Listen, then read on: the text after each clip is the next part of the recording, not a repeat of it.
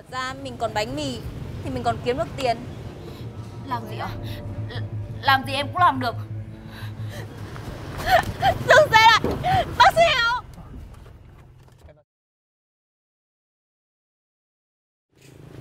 Minh Nhanh cái chân lên em Không kịp ra bến xe bán cho nó hết từng này nữa. Rồi mình về sớm mà. Vâng ạ. Hôm nay lại chẳng bán được gì ăn miếng mì đủ Không sao Trời này người ta cũng dễ ăn bánh mì Bán cố hết. Rồi chị em mình về mà. Xong chị sẽ mua cơm cho em nhá. Người kia bị làm sao vậy? Chị vào xem đi ạ.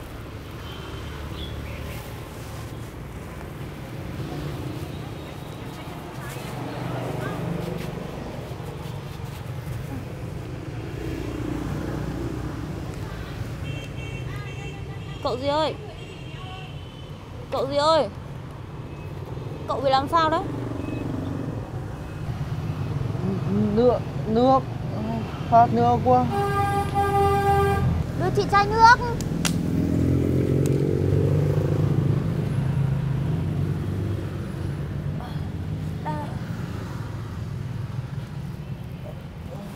Đỡ, đỡ hơn chưa? đói quá. Đói. đưa chị bánh. Đưa chị cái bánh mì ăn đi.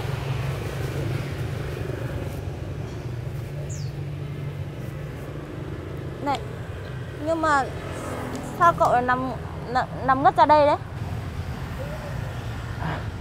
tôi tôi là sinh viên năm cuối.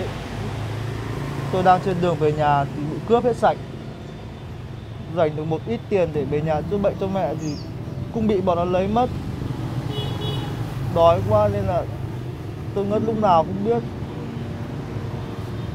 Thế, thế cậu có muốn ăn bánh mì nữa không? tôi cảm ơn Bây giờ cậu bị cướp hết sạch à?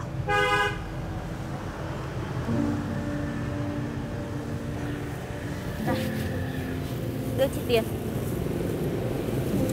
Nữa.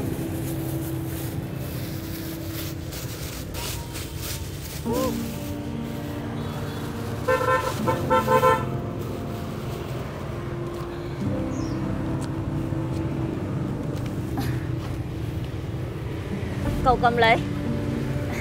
Đây là số tiền mà hai chị em tôi bán bánh mì Tiết kiệm được cả tuần. Cậu lấy đấy xong rồi mua vé xe về để lo cho mẹ cậu nhá thế còn hai chị em cô? Không sao. Đây, còn bánh mì đây. Còn bánh mì thì bọn tôi còn kiếm được tiền. Còn cậu á, bây giờ còn phải về gấp. Còn lo cho mẹ chứ.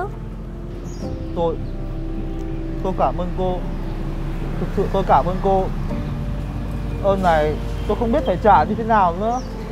Ôi không sao. Chuyện gì gấp thì cậu nên phải lo chứ. Ừ, Thôi cầm lấy số tiền này. Với lại là để ý một tí Đừng có để bị cướp nữa nhá. Vâng. Cậu có muốn lấy bánh mì về để ăn dọc đường nữa không?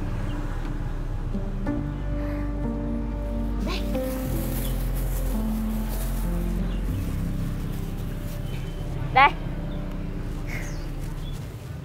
Nào, Đỡ cậu ấy dậy đi. Đây.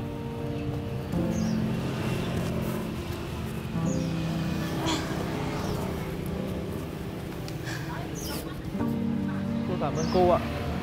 Cảm ơn cậu.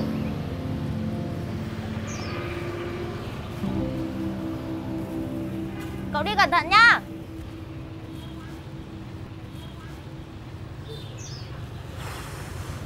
Chị cứ tưởng Chết đi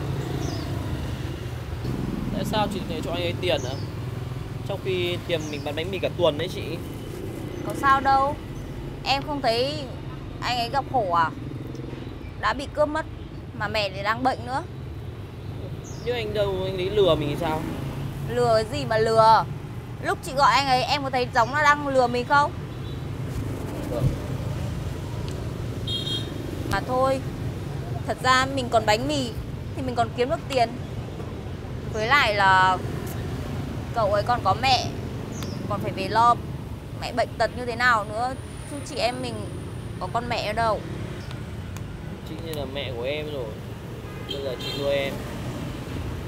Sau này lớn lên chắc chắn sẽ nuôi lại chị. Thằng Hâm ạ. Thôi đi bán đi xong chị em mình còn về sớm nhá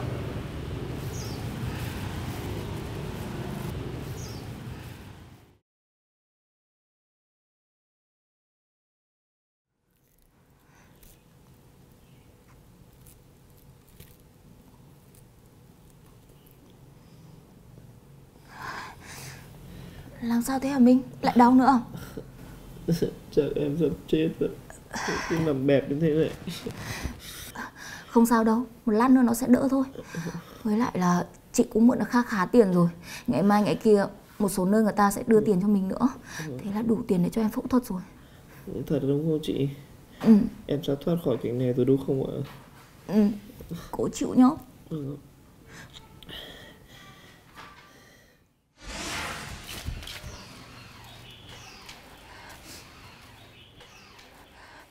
Anh ạ.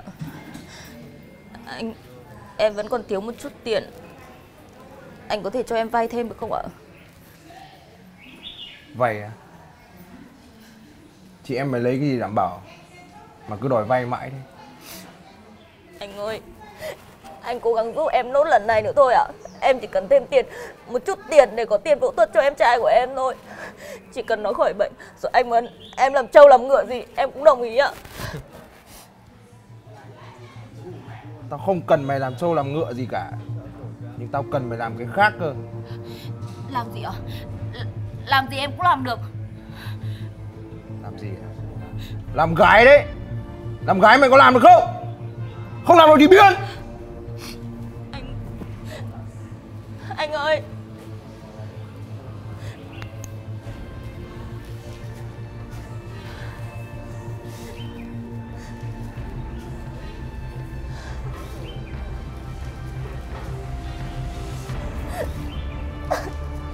ơi Xin lỗi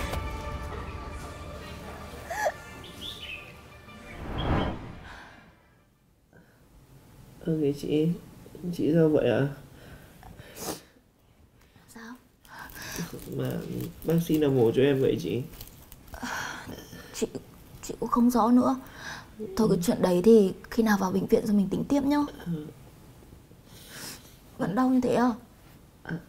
À Ôi. Bị buốt quá Em đau. Em đau quá. chịu khó nhá. Chịu khó xong một lát nữa nó đỡ thôi.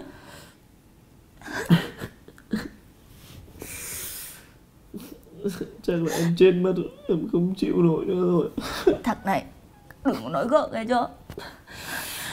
Chịu, chịu một tí thôi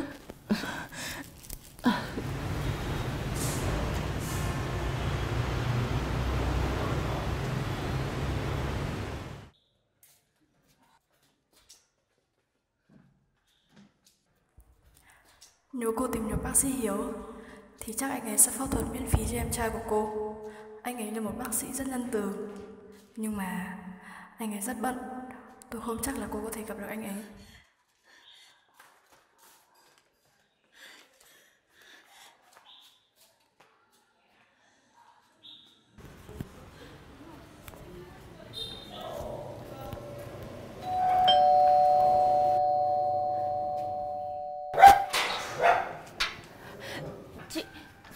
Đến đây tìm ai đấy Chị ơi Cho tôi hỏi là Đây có phải nhà bác sĩ Hiếu không ạ Đúng rồi Nhưng bây giờ bác sĩ phải đi nước ngoài Không tiếp khách đâu Chị ơi, chị nói bác sĩ giúp em một tiếng với, cho em gặp bác sĩ nói chuyện một chút thôi ạ. Em trai em đang bị tai nạn, nó cần phải phẫu thuật gấp. Không, chỉ có bác sĩ Hiếu mới cứu giúp được nó thôi. Chị ơi, chị giúp em lần lần này thôi ạ. Cô này Cô làm trò gì đấy Ở đâu ra lại vào nhà người ta gào khóc Bây giờ bác sĩ có việc Lỡ chuyến bay, lỡ công việc Cô có chịu trách nhiệm được không Em em chỉ xin đúng 5 phút nói chuyện với bác sĩ thôi ạ. Không không nói dài dòng đâu ạ. 5 phút cũng là thời gian Đi đi Đừng ở đây gào khóc nữa Người ta lại tưởng chúng tôi làm gì cô đấy Chị ơi, chị ơi, nói với bác sĩ Hiếu giúp em một câu với. Bác sĩ ơi. Bác sĩ Hiếu ơi. Bác sĩ. Bác sĩ Hiếu ơi. Bác sĩ ơi, Cứu em trai em với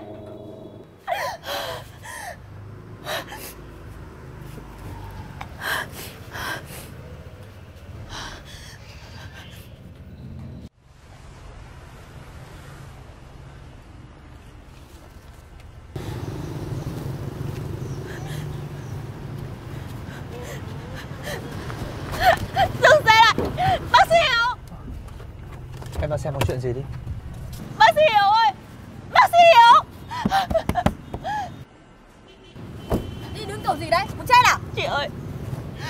Gặp bác sĩ Hiếu một chút thôi ạ. Cho tôi gặp một lần thôi ạ. Tôi còn phải đi việc.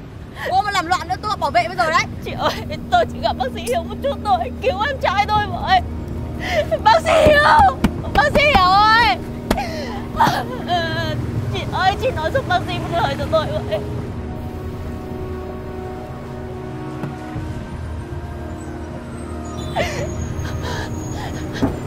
Bác sĩ Hiếu Bác sĩ Hiếu ơi Cô cứ bình tĩnh đi.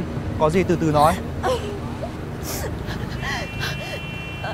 Em trai tôi nó bị tai nạn. Rồi bây giờ nó nằm liệt giường rồi. Cuộc phẫu thuật lần trước tôi không đủ để chi trả cho nó nên mới phải đưa nó về. Bây giờ cứ mỗi lần trái gió trở trời vết thương lại đau nhức. Nhìn nó quặn quại như thế Tôi không chịu được bác sĩ ơi. Giờ chỉ có bác sĩ cứu được nó thôi Bác sĩ giúp tôi. Cô cứ bình tĩnh đi. Được rồi Tôi sẽ giúp cô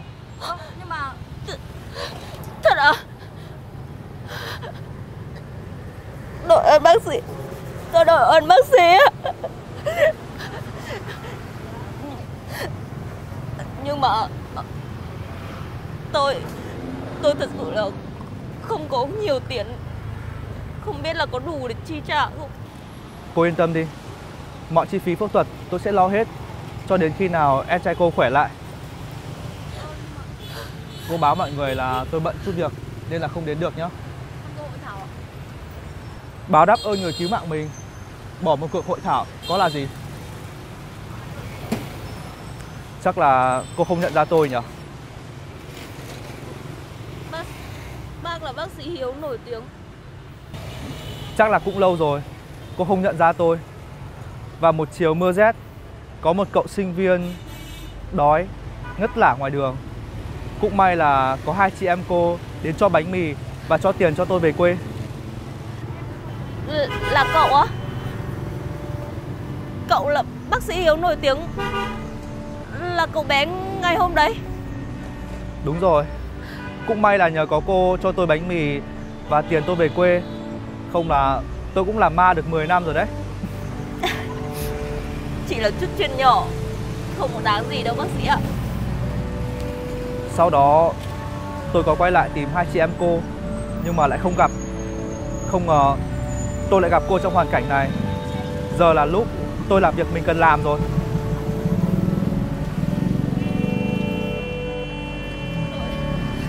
Tôi thật sự cảm ơn bác sĩ. Không phải cảm ơn đâu. Hãy cảm ơn chính lòng tốt của cô. Hai chị em cô đã gieo mầm cây. Giờ đến lúc hai chị em cô hái quả rồi Thôi lên xe đi.